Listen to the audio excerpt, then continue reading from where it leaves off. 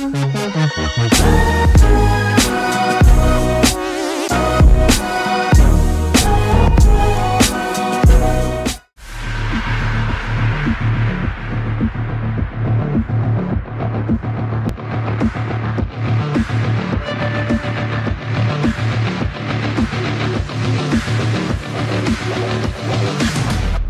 Hey guys, welcome back to Amazing Ameya. This is your host Ameya Torne and today I'm gonna show you some Google Play Store tricks. So sit back, relax and enjoy this video. If you're using Google Play Store, you must be updating your apps, right? But what if I tell you that you can update your Google Play Store?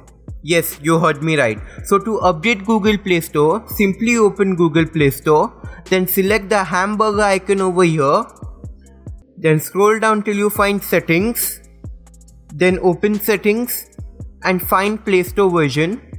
Tap on it and if it's up to date then this message will pop up and if it's not up to date a message will again pop up stating that the update will soon be installed.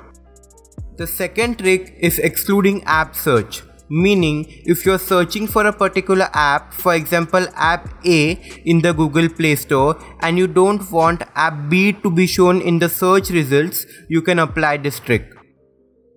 So here's how this trick works.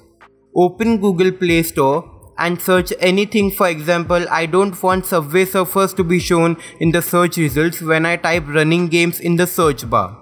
So to do that I'll type running games dash Subway Surfers in the search bar and enter.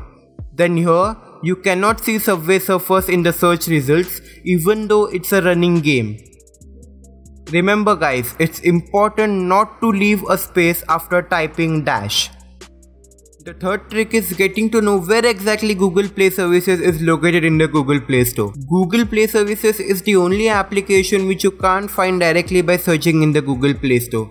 So to find it, open Chrome browser on your Android device and search for Google Play Services. After the search results pops up, select the three dots over here and then scroll down till you find desktop site. Once you find desktop site, enable it and the interface will change into desktop version. Then select the first link which is in the search results and then boom, here's the Google Play Services app on Google Play Store.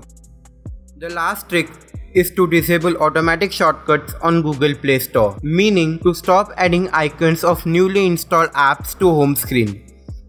So to do it, go to the settings of Google Play Store and turn off this option called as add icon to home screen.